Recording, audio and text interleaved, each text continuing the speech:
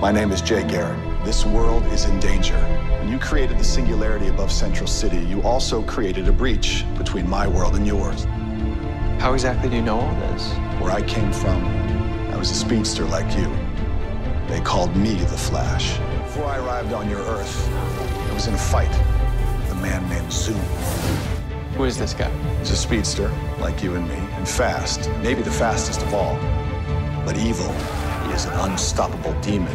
And he will do whatever it takes to ensure he's the only speedster in any world.